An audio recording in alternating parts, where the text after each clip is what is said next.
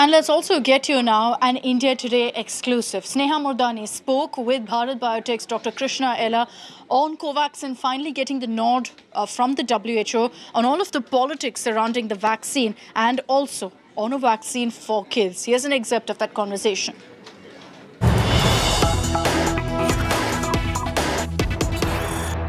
Do tell us how difficult this entire period has been and how do you look at this approval?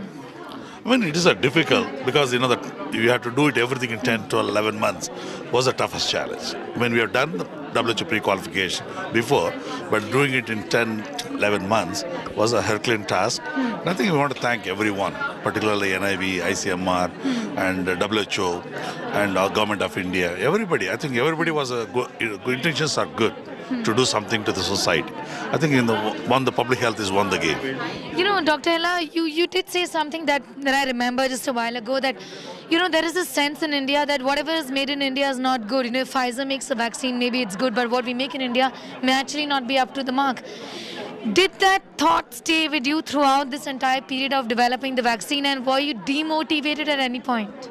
I was not demotivated, but if you produce a good good science, hmm. Good publication to authenticate that we are not inferior to any of the multinationals in the world, I think people will accept. Today, you know, Covaxin is a better accepted as a product, not only in India and uh, other part of the world. And you know, none other than Francis Collins, who is the NIH director, is acknowledging the Covaxin. And I think uh, that's a good uh, credibility for India. And I think we are thankful for all these things. I want to know what's the road ahead. We are waiting for the final approval from the regulator for Covaxin for children and also the nasal, uh, vaccine which is going to be looking, you're looking at it as a booster. What's the update on that? I mean, children vaccine is we have done complete all our clinical trial. It is with the government. Government has to take a decision, not us.